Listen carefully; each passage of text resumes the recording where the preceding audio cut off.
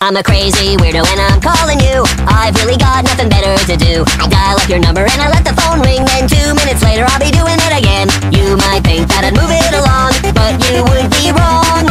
I got no life at all, and so I'll continue to call. I'm a crazy weirdo and I'm calling you.